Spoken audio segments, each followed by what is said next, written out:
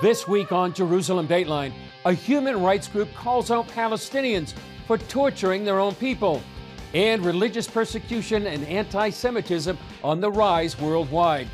Also, new evidence that the Shroud of Turin could really be 2,000 years old. Was it the burial cloth of Jesus? All this and more this week on Jerusalem Dateline. Hello, and welcome to this edition of Jerusalem Dateline. I'm Chris Mitchell. An international human rights group says Palestinian leaders in the Gaza Strip and West Bank could be guilty of crimes against humanity for their alleged systematic torture of dissidents. Human Rights Watch made the accusations in a report submitted to the United Nations Committee Against Torture. According to the report, Palestinian Authority security forces and the Hamas terror group used solitary confinement and beatings, including whipping their feet and forced detainees into painful stress positions for prolonged periods, including hoisting their arms behind their backs with cables or ropes to punish and intimidate critics and opponents and elicit confessions.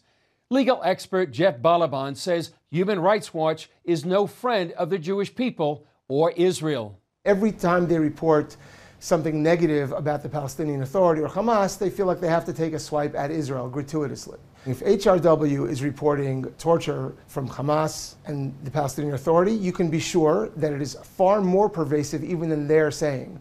And it's obviously significant that they choose to report this now because, as we know, the situation is grim. Torture is, in fact, pervasive in the Palestinian Authority and under Hamas. Earlier, CBN News met with Palestinians who had been brutally tortured by their own government for saving lives and preventing deadly terror attacks. Take a look.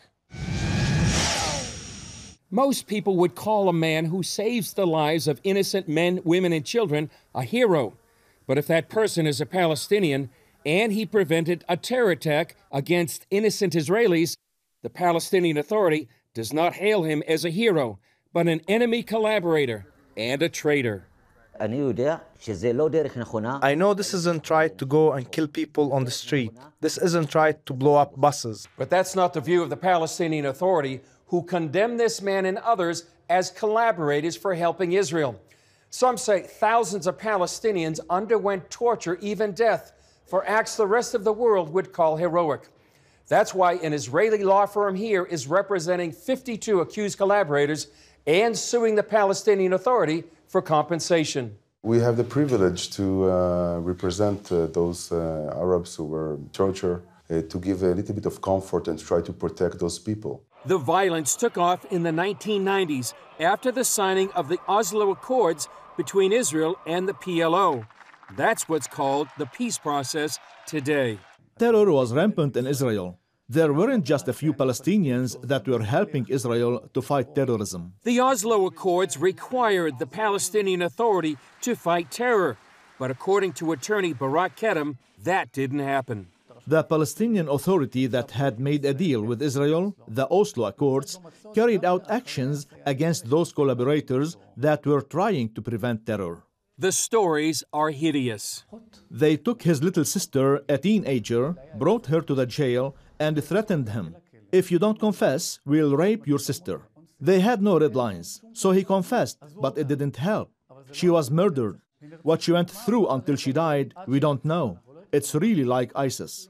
This man, who will call Baber to protect his identity, was taken in for questioning. They entered the room and asked, When did you start working for the Israeli Shabak? I said, I don't work for the Israelis. This was just one kind of torture he endured. They tied your hands and feet and head. They beat you from every direction until you fainted, cursing from the morning until the night. You're just a dog. In the end, you are going to die and we will throw you on the garbage. We'll do this and this and this. We will rape you. According to Baber, he faced no official charges or had his day in court. His parents couldn't visit, and the Red Cross was apparently never notified of his confinement.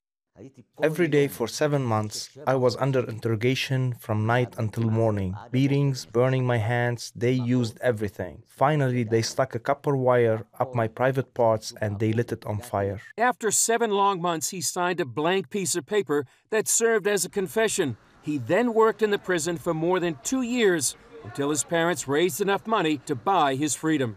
Mahbir is another accused collaborator. People came to my house, three men. One of them said, Excuse me, can you come with us to our internal security of the Palestinian Authority? I said, Fine. I couldn't tell them no. The minute I walked in their door, maybe 40 men fell on me and started beating, beating me to death. When they stopped, they left him bruised, bleeding, and alone. In the evening, he came to me, and the interrogator said to me, I'm Hitler. You know what Hitler did to the Jews? I said, Yes. He said, Like Hitler did to the Jews, I am going to do to you, collaborators. The beatings and torture went on for a year and a half.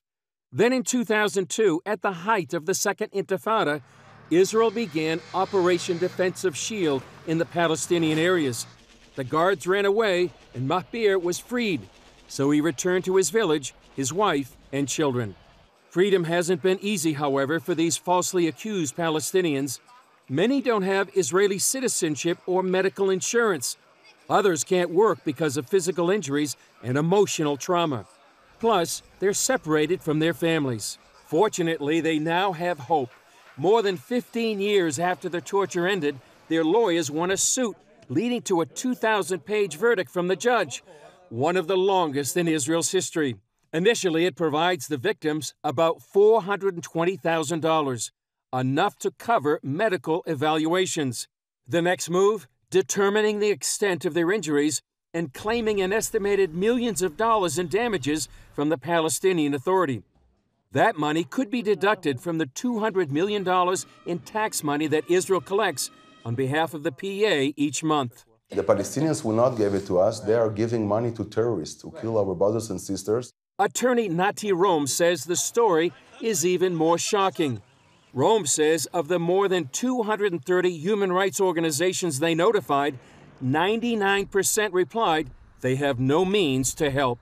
Where's the UN? Where is the EU? Where is everybody who would like to speak about human rights in the Middle East? This is the real story. Only one group took the challenge. We think that uh, dealing with human rights of Palestinians is our ob- obligation, no matter what, what our political view is. Mary Shalem, CEO of the Institute for Zionist Strategies, says helping these men is what being human is all about. We have an explanation why I, the other human rights organization didn't want to take care of it. They didn't want to deal with suing the Palestinian Authority. And the other reason we are dealing with collaborators who helped the, the security of Israel. They've taken the first steps in a long battle. Now they hope Israel and the West will join them in standing behind these unsung heroes. Coming up, religious persecution and anti Semitism on the rise worldwide. While some bright spots have emerged in the Middle East, religious persecution worldwide is growing and becoming more deadly. As Jennifer Wishon reports from Washington, a diverse international coalition is resolved to do everything in their power to stop it. Here in the nation's capital, there are few issues that unite both ends of the political spectrum. One is the life changing work of ending religious persecution around the globe. Billions live where their ability to worship is restricted or forbidden, from genocide in China to Nigeria, where church bombings are all too routine. If you don't have religious freedom around the world for everybody, every time, all the time, and governments enforce that, you are going to have the clash of civilizations. Each year, Washington becomes the focal point for work toward a world where all people can worship without fear. Victim stories are heartbreaking. My name is Yuhan. Uh, I came from uh, China, Beijing. Yuhan's father was killed for practicing Falun Gong. When her family finally got access to his body, they were shocked. The incision uh, stretched from his throat all the way down to his abdomen. And when they pressed his, his abdomen, uh, they found that the incision, uh, the, uh, his abdomen was stuffed with hard ice. that my father's organ had been harvested while he was still alive.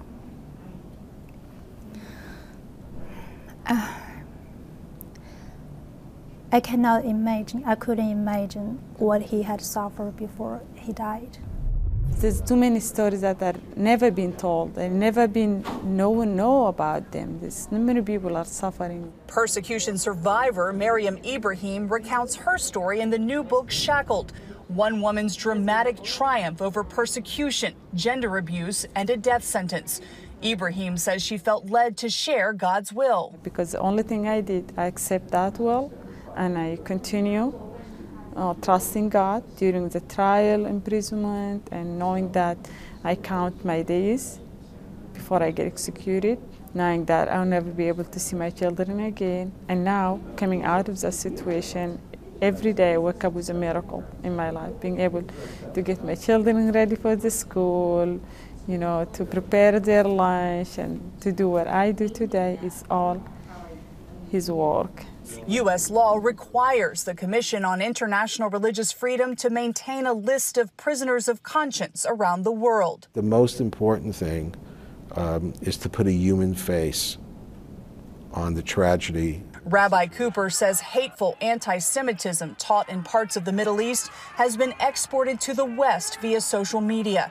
He points to recent efforts by Ben & Jerry's Ice Cream, based in Vermont, to boycott the Jewish state of Israel. These are uh, people more at home with Hamas uh, than with American or American values. And while the summit is focused on persecution abroad, victims urge Americans to guard their freedoms. liberty is taken away incrementally. It's not all at once. In, in most cases, it's not overnight. They say America must remain a beacon for the world. They look to our principles to say, well, here's a country that's getting it right when it comes to freedom. That's something that we can't lose hold of. Rabbi Cooper says there's a sleeping giant in America that could change millions of lives. If you can get every church in the U.S. to adopt one church in Nigeria, just one church, a church to church, people to people, things will change there very quickly. Because if we wait for governments to figure this out, we're just going to keep reading over and over again about the, the body count of, of the faithful going, uh, going up.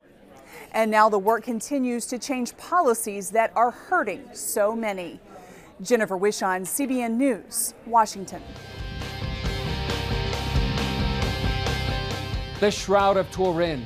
Is it the burial cloth of Jesus or a medieval forgery? New research could hold the answer.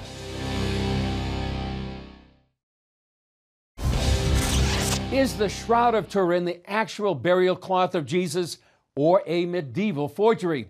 It's been controversial for hundreds of years. Now, new scientific evidence gives credence to the authenticity of the shroud. CBN News' Gabe LaMonica has the details.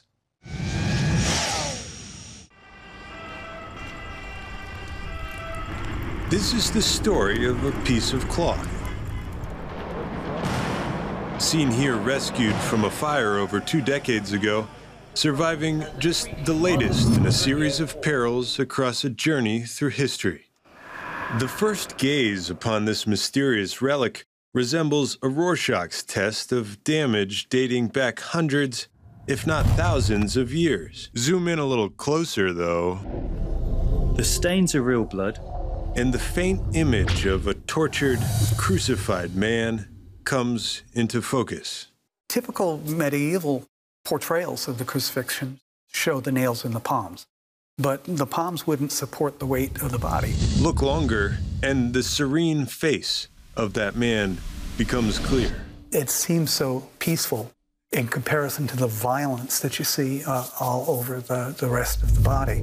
Brian Highland is an exhibit curator at the Museum of the Bible. There have been questions about the veracity of this image uh, ever since its first documented uh, appearance in the late 14th century. In 1988, carbon testing dated the shroud back to medieval times. That test has repeatedly been called into question by various experts. The only single sample they took did not represent anywhere else on that cloth because it had been manipulated. Now, a new scientific procedure dates fabric from the shroud to roughly 2,000 years ago. That Italian study is just the latest in a long series of scientific testing including studies of pollen plucked from the shroud with this scientific tape dispenser. The pollen samples that were uh, gathered, they uh, a lot of them are from plants that are native to not just uh, the Middle East, but specifically the area around Judea, Palestine, uh, and uh, Syria,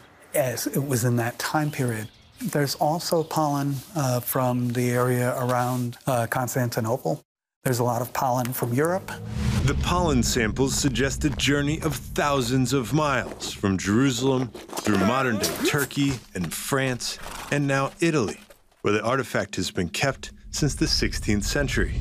Some say the cloth housed in the Turin Cathedral is a vessel for human blood and therefore may be nothing less than the Holy Grail. When you realize that the cloth is a vessel that's containing Christ's blood. I mean, there it is. And it is blood. And not only is it blood, it's type AB, which is the type that's consistent with Palestinian Jews. Still others call this bit of linen a forgery by none other than Leonardo da Vinci. We're saying it's a 500 year old photograph by Leonardo da Vinci. And if that doesn't sound crazy enough, we're saying it's a 500 year old photograph of Leonardo da Vinci because he used his own face as the model, because that's the kind of thing he hmm. did. Authors Clive Prince and Lynn Picknett even put together their own experiments in an attempt to replicate the religious relic using a bust of the Roman Emperor Marcus Aurelius and comparing Da Vinci's disputed Salvator Mundi painting to the image on the shroud. I'm no expert, but the shroud was being publicly shown 100 years before Da Vinci was born. He was a good artist, but it wasn't that good.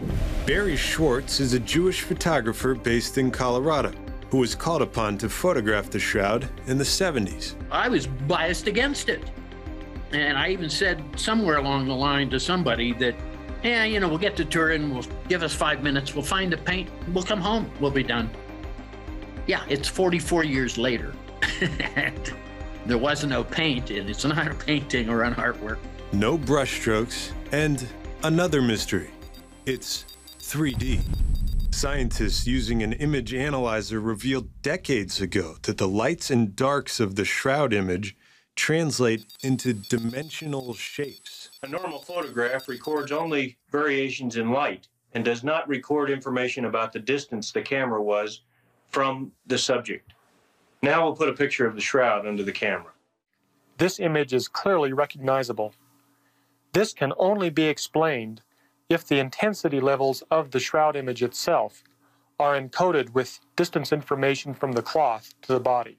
Now, British filmmaker David Rolfe is out with his fourth film, Who Can He Be? Investigating the Shroud of Turin, using the latest tech to digitally extract data encoded in the fabric, revealing a three dimensional model of a man. We can see what I believe to be the body of the crucified Jesus in front of us on a piece of cloth, whereby the only way that that image could have got onto that cloth is a miraculous one, a miracle that emanated from the body um, with unbelievable amounts of energy, but with an infinitesimally short space. No matter the evidence, the Shroud of Turin may always remain a mystery. But for many, this mirror of the gospel, as Pope John Paul II called it, connects them to the divine. Gabe LaMonica, CBN News, Washington. Still ahead, Operation Blessing helping refugees fleeing Ukraine. Thank you for watching Jerusalem Dateline. We're committed to providing you with unbiased reporting from the Holy Land. Through weekly broadcasts, podcasts, and online media, our vision is to reach millions around the globe with the true story of what's happening in Israel and the Middle East, all from a biblical and prophetic perspective. This is a big vision and is only made possible by the generous support of people like you. Call us toll free at 1 800 700 7000 or go to cbn.com slash Jerusalem Dateline and make a donation that will help spread the light of truth about Israel throughout the world. As we know, the brutal fighting in Ukraine has led to a flood of refugees. One sister who takes care of a younger brother decided they could no longer stay in their home, and they fled to Poland, where CBN's Operation Blessing was there to help them. As the war raged around them in Ukraine, Anya did her best to take care of her younger brother, but eventually the violence hit too close to home. The other week, uh, a missile was hit like literally near our house. It was like a massive, huge explosion, and I understood that I uh, take care of my brother. I responsible for my brother. So I decided it's like the best thing I can do is like to flee to the safest place possible. Sadly, there's no safe, safe places in Ukraine anymore. Anya took her brother and fled to Poland. Thanks to Operation Blessing Partners, Anya and her brother received a meal and a hot drink, a warm place to recover from the cold, and most importantly, the hope to continue human kindness is like one of the things that helped me going on. I was like going here without like knowing anything. I literally was going into the nowhere with the little money, with the little clothes and everything I have. And I don't know, I'm, I'm just so amazed by how kind people can be. Operation Blessing took Anya and her brother to a local church partner there they could safely recover before continuing on their journey. I would just say enormous, a huge thank you. You just, this means so much for every one of us. It comes so deeply from my heart. It's, it's such a gratitude that cannot be expressed by anything. I'm, I'm so thankful. Well, if you'd like to help out Operation Blessing, you can go to CBN.com.